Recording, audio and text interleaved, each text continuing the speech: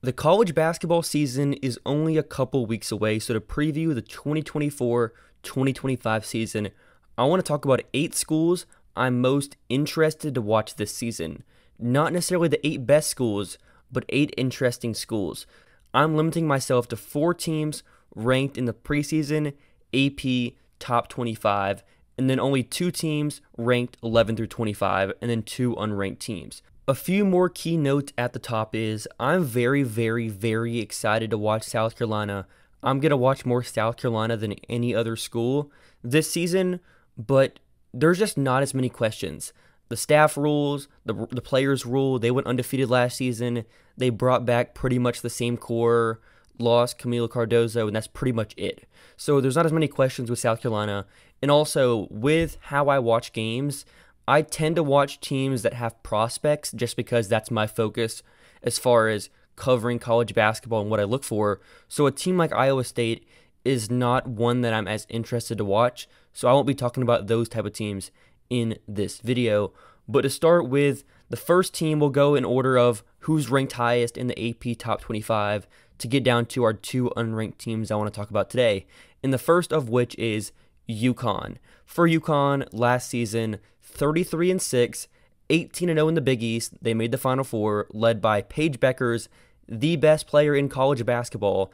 This team also has KK Arnold, Azzi Fudd, Sarah Strong, and Jana El Alfy. For the key bench, Kaitlyn Chen, transfer from Princeton, super experienced college player, as well as Ashlynn Shade, the sophomore, and then Ice Brady. It's possible either Shade or Chen start with Fudd missing time to start the season. But to start at the top with Paige Bueckers, Paige is way too good for college basketball at this point. Like I said, the best player in college basketball. And I'm interested to see how KK Arnold improves offensively this season. For KK, you know the defense. She's excellent defensively, on ball, off ball. Can she make threes more consistently? Can she show more creation ability? That's one question for me this season. Also, I'm super interested if Jana could come in and be a real time interior presence. This is a different type of center than UConn's had in the past. They tended to have these scheme versatile switching bigs like Aaliyah Edwards, Olivia Nelson-Ododa, etc., etc. And for Jana, she's much more of the drop big that's going to defend the paint, not really switchable whatsoever. So I would be interested to see Will they go small ball with Sarah Strong at the five?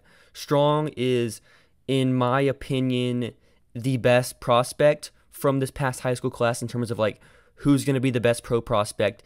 They haven't played a college game, but that's just my take before the season. For Strong, she's six foot two. I wouldn't even call her like a post player. She can really pass. Like the driving pops, the shooting pops, the range she has from deep having Strong as this player you can go five out with. Paige can also clean up on the back end as a weak side rim protector. I'm interested to see what UConn does. They're going to be trusting Jana a lot, though, just because you need that big that can change pace and more traditional in terms of like rim protection. The other really question for me is as far as like what Aubrey Griffin can provide. You don't see her on the graphic here just because I couldn't fit every name and I wanted to include a big and Ice Brady. But for Griffin, she's legitimately one of my favorite defensive players to watch ever. How she defends off the ball, it's a blast to watch. But the injuries have been such a consistent concern with Griffin. But this UConn team is fun. There's a lot of questions as far as like who plays the most minutes, what's the starting lineup like around Paige. We'll see how it goes, but UConn is for sure a title contender entering this season. A team I would probably have number two in my preseason rankings is USC. They're led by Juju Watkins, arguably the best player in college basketball. She's probably second to Paige, but this team has Juju Watkins at the two, TVO at the one, transfer from Oregon State, senior. They also have Kiki Iriafen, pretty much the consensus number two prospect in this year's draft. Also, Kennedy Smith, five star wing forward, and then Rayah Marshall, one of the best rim protectors in college basketball. On their bench, they're led by two freshmen in Kayleigh Heckel and Avery Howell, two five star recruits. Just to start with the obvious, I'm so excited to watch Juju Watkins, Kiki Iriafen two player actions. My questions for these two players is can Juju up her efficiency by not having to carry this enormous offensive load every single night? She now has a real point guard in TVO to run things through. They also have Kiki Iriafen, who is one of the five best players in college basketball. So to have those two players should leave some pressure on her offensively and defensively. My other question is can Kiki Iriafen start taking threes? For USC, Lindsay Gottlieb, the fourth year head coach, she has a pro style system as far as like her player development approach. So I'm interested to see if she can have Kiki taking some pick and pop threes in two player actions with Juju, and then also just playing alongside Rayah Marshall.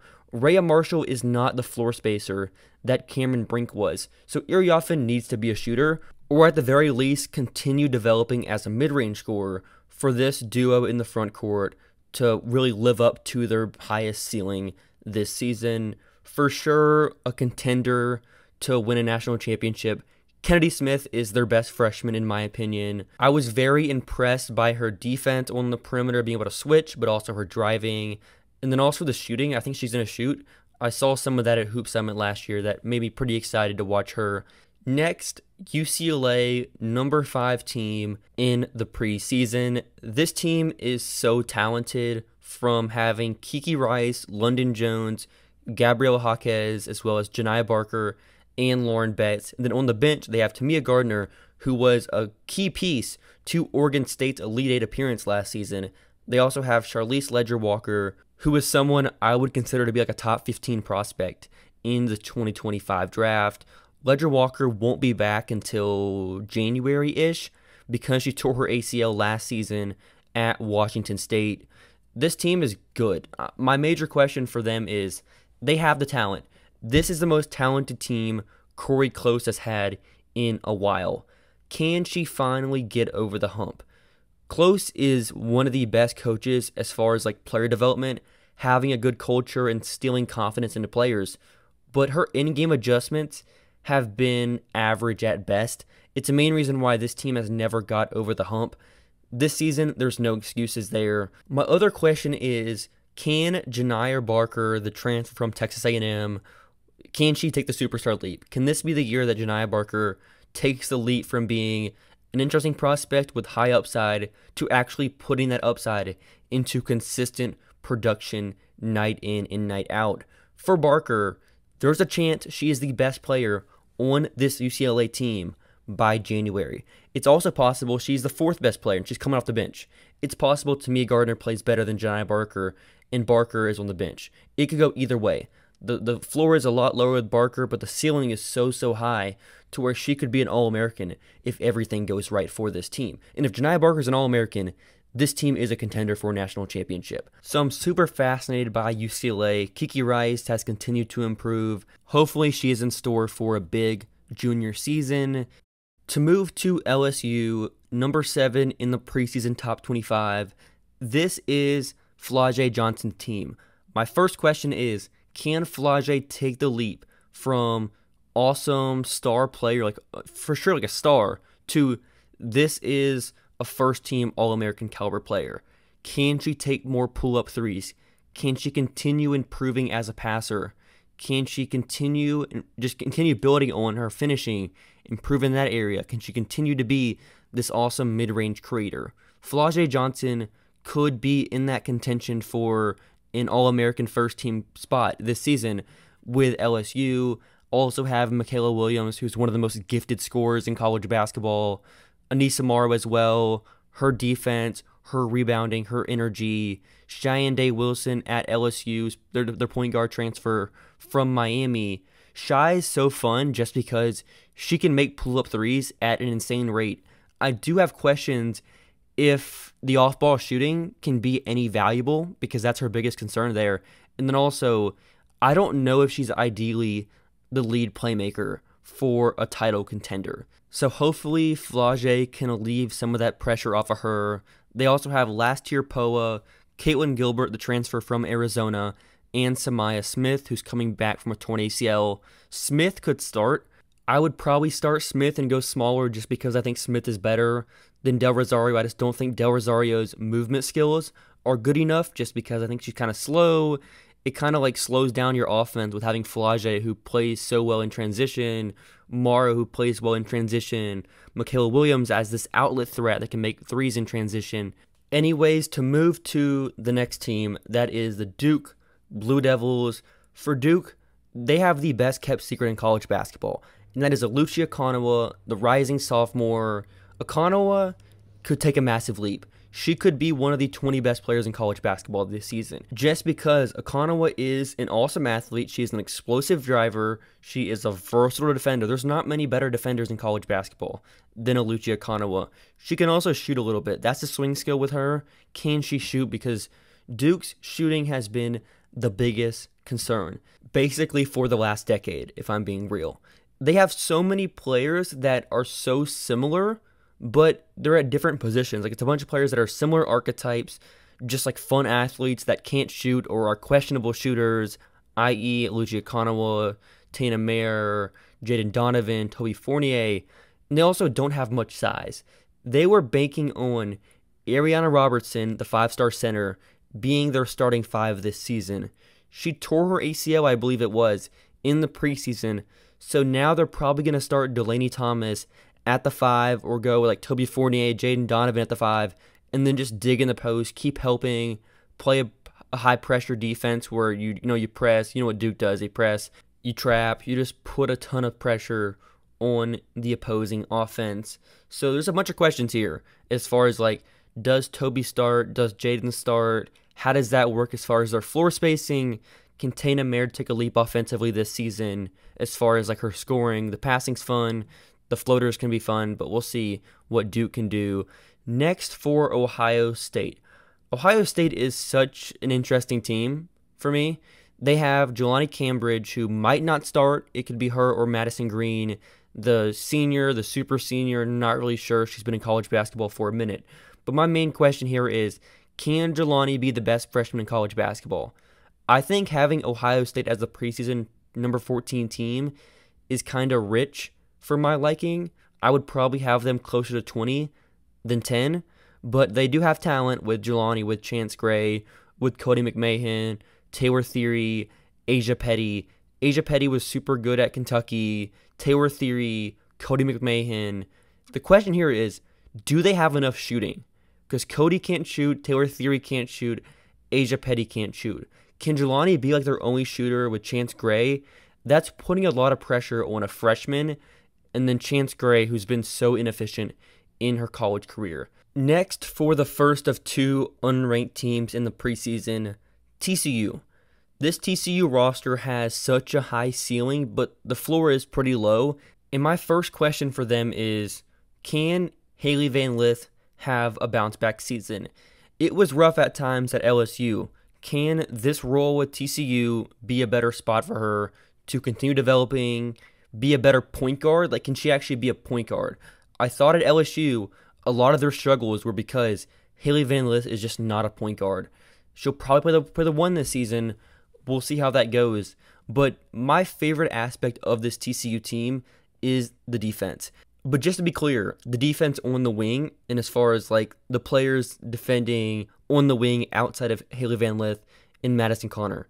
For Conner, she's an awesome. There's not many better movement shooters in college basketball, but the defense is very bad.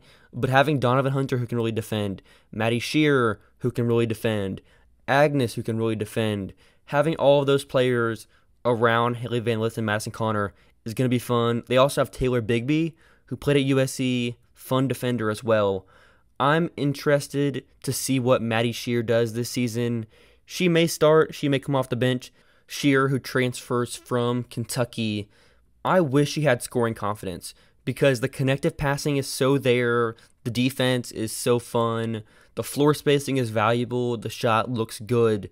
Her main problem is like, can she actually finish? She's never been a good finisher. Can she be confident as a scorer? She turns down so many easy chances to score just because of the confidence. Donovyn Hunter is similar to me in terms of like not the most confident scorer, but can really defend. Hoping a more consistent season from her offensively, but this team could be fun. We'll see what happens. They have Sedona Prince as well. I don't really like Sedona Prince, to be clear, for reasons that don't need to be stated, but she is a good college player. She is a good college post player who's been in college for like a decade at this point. Not really a decade, but it's felt like a decade. She's been in college forever. Then for Vanderbilt, the final team we'll talk about today. This is the first time I've entered a season excited to watch any Vanderbilt basketball team, like ever. They had their best season in 2023 2024 since 2009. They made the tournament 23 and 10 record. They were 9 and 7 in the SEC. Shea Ralph is one of the best coaches in college basketball. To do this at Vanderbilt, to recruit, is also what I want to talk about here. They had their best recruit signed in this past high school class. Mikayla Blakes was a top 10 recruit in the 2024 recruiting class.